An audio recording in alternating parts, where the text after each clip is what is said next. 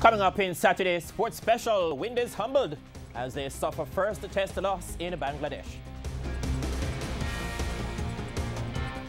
Second round of closely knitted Red Stripe Premier League kicks off on Sunday.